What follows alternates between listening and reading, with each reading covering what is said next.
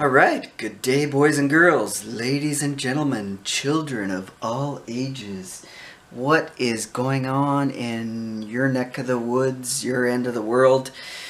I just posted online the video asking about your inspiration. What inspires you to build these beautiful plastic car model kits?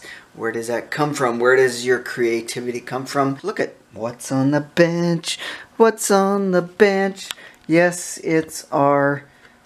Yes, on the bench is our Ford Courier. That's what we got going on there. And you know, you know, you know, this is what's happening. I have to figure out what I'm going to do with the wheels. How am I going to put them on? That is the deal. But look at this. You know what? It's coming along pretty good. Let's disassemble this in its um, state of mock-ups this off gently. Look at this. I did this part the other day, last night, I think. Uh, painted the rad silver aluminum because, hey, it's got an aluminum rad. Because you got to keep that small block Ford cooled. And I just noticed there's a little goober on my camera lens. Hold on. You guys can't see? Let's give you a little wipe. Does that help? No, something else on there. Son of a gun, we're gonna have to... What's going on? Huh. Does that uh, make a difference? I don't know. The lighting situation's not good here, too. I need some better lighting. But anyways, yes, you're getting sidetracked really quickly. Aluminum rad, that's what's into the um, little Courier Pro Tour. And I went with the, the original rad in this kit because it makes everything easier. The only additions I made was the engine actually. Uh, the original rear end, where is it? Where is your rear end, Chuck? Oh my god. Hold on, here's my rear end. So that's the kit rear end. It almost looks like an 8-inch Ford or Mazda, I guess, in this case. So that's the rear end in it. Engine's looking good. Look what I did with the valve covers. I was thinking black wrinkle valve covers in the beginning, but then I changed my mind because way back in the day I did have a, a Dodge D50 which looks like a Mitsubishi truck and somebody put a small block Ford in it. We'll talk about that later. But I got a 82 Mustang GT engine with had Cobra valve covers like that on it. And that's what I did. I painted in between the fins the factory blue, same color as the engine block and then all I did was wipe the fins down with a cloth and it highlights somewhat. So I can't see whether this is coming in clear or not but that's what I did. Now I ran out of brown paint so the inside panels will have to go black outside. Body color. That was a bit of a stupid move right? So that's what's going on. So the engine's ready. Transmission one mount is in there. So most of it is ready to mock in a little more correct. And then once I glue that in, I can do my exhaust routing with the headers. And then I can put the drive or the rear end in and my angle on the rear end. But right now I want to get the tires mocked up and the problem is this is the wheel backings and it uses this. It uses a small hole on my front axles to put tires on and the same thing. This with the threaded rod, 0.62 rod. So I went and bought this rod from the hobby shop. It was in one piece, but I had to bend it because I took the bike there. We'll talk about the bike another time my little motorbike. And uh, so I paid $1.35 for that rod. Good deal. So now I have to adapt the wheels over. So now I have to adapt the wheels over somehow to that size of rod.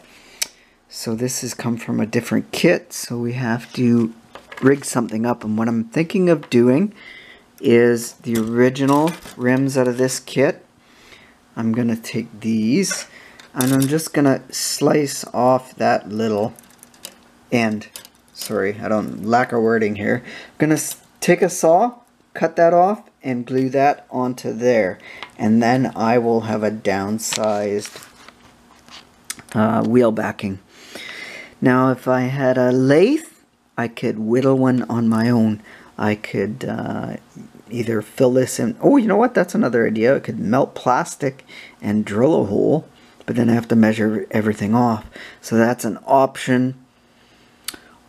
Or if I had a lathe, like I say, I could whittle up a piece of aluminum. I could slide it in there and use it as a spacer. So that's my current situation dilemma. And we will uh, whittle something down and we'll come back and see how this works. Okay? Okay, so this is the progress. I can see, or you can see, not I can see, that we cut one of those off and there we go. That's what we got our little ends that will go here on the backing there. So we'll have to glue them on and it's a slow process just slowly cutting away.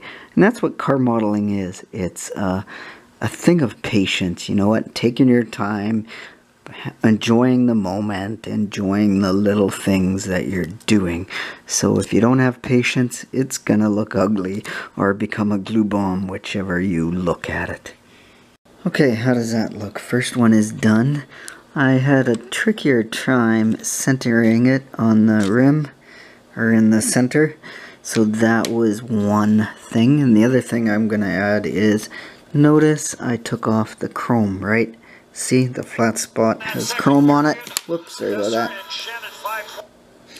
And uh, this side, see, I scratched off the paint because this glue, I'm going to use this glue and let it sit overnight so it melts in really good. And I took the chrome off here because I want it to bond. This glue, or most glues, will not bond very good to the chrome. You want to melt into the plastic a little bit, so that's why I do that. And voila, there we go. We got it all mocked up. Looks good. You can take a look at my rear end. Alright, now behave, behave there, Chucky, because you know what? This is a family channel. Maybe you don't want to look at my rear end. Okay, that's a little creepy. So yeah, see, everything lines in pretty good. Um, I'll have to paint it silver to finish it up and I mocked up the front. I ended up painting these last night, the inner fender wells. The black, wish it would, was brown, this brown, but hey, like I said, I ran out of brown. So uh, yeah, we just have to finish things off. And I don't know, this might be the last update I'm doing on the Pro Tour truck because, you know what? I got this guy. I have to have this thing finished by March and yeah it's only primered and uh, we'll have to go on to that because I got a month and a half no uh, yeah a month and a half to finish this off so uh, with my slow progress this might take a while. So my friends you know what? Model on. Until next time my next update we'll see where things go here.